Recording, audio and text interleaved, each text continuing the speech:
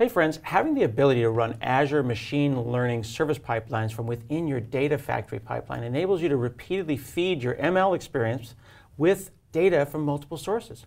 Gaurav is here to show how this enables batch prediction scenarios, such as determining sentiment or analyzing customer behavior patterns. I'm going to learn about how to do it today on Azure Friday.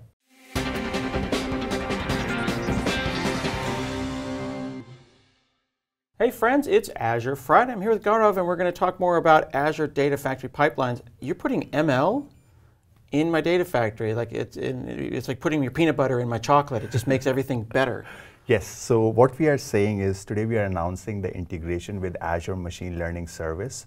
Uh, so a lot of times what we have heard from our customers feedback that they want to use, do predictive insights in, uh, uh, with their data. So mm-hmm. they want to enable predictive analytics and they want to do that as a step in their data factory pipeline. So imagine a scenario where you're ingesting sales data from a bunch of sources and then you're prepping the data, transforming the data, and then you want to call that machine learning algorithm to do pricing optimization, right? Mm-hmm. So you want to determine what pricing this product should have and you have an ML model trained to do that and you want to do that as a step in your pipeline. So what we are saying now is that this is possible now with the Azure Machine Learning Service integration. So you can use the best-in-class Azure Machine Learning Service to build your ML pipelines. And in those pipelines, you could have experiments.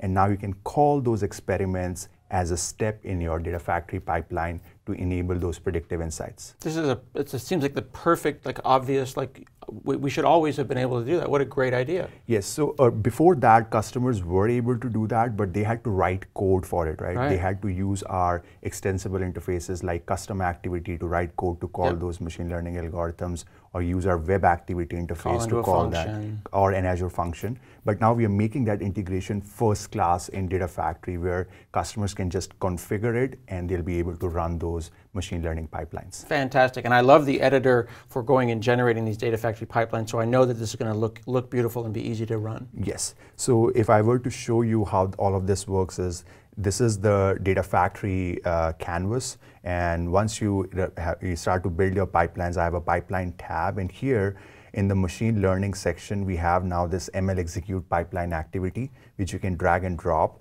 So what uh, for this particular uh, uh, uh, example, here we are trying to call a machine learning model that mm -hmm. is classifying uh, uh, images, right? So we have a classifier and you pass it a raw image and it is going to label that image, whether it's a cat or a dog or a man or a woman. You can drag and drop the machine learning pipeline activity onto the canvas and here now you can essentially uh, call the machine learning experiment. So if you go in the settings tab, you can call the ML uh, pipeline by just providing the ID. And over a period of time, we are making this experience better. So we're going to add a drop down, which will automatically list all the experiments that you have access to, pipelines that you have access to, and the corresponding experiments. So you don't have to type it. It will just be a pure selection.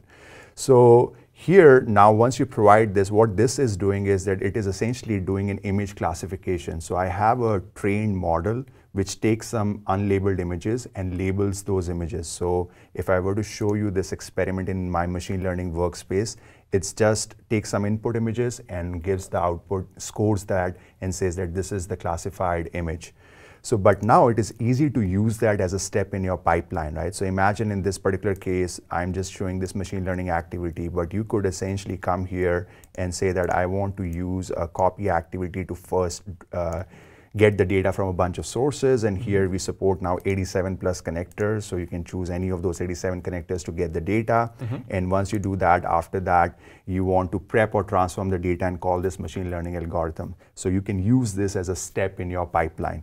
So I have one pipeline which I can show you right now which does this. So I have the sales analytics pipeline where we get data from a bunch of sources.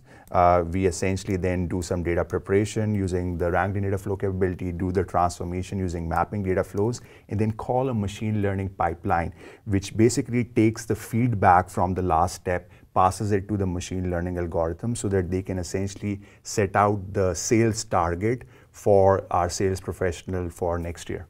So then in this case, you're moving the data through the pipeline and the, it could modify a column, add a new column, present a new data set. And in this case, you're creating new data from old predictively saying, using historical data, I'm going to go and give them a new sales target. You can do it with images, with text, with mm-hmm. numbers, yep. anything machine learning can manage. Exactly. You can do. Exactly right because we are using we are just calling the Azure machine learning experiment over here, right? So anytime you go and use Azure machine learning to build any pipeline which can call any experiment, we can call that as a step in your Azure Data Factory pipeline now.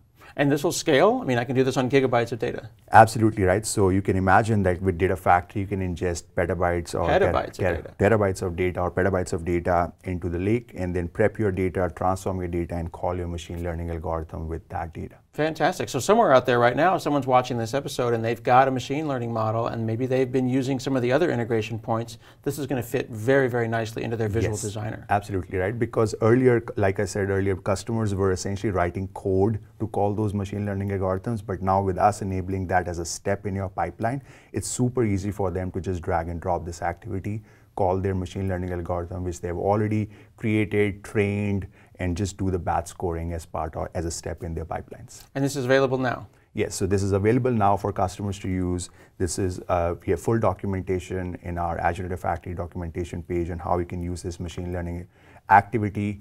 And as I mentioned, we're going to iteratively make this better and continue to listen to our customers. Fantastic. Things just getting better with machine learning pipelines inside of your Data Factory pipelines. I'm learning all about it today on Azure Friday.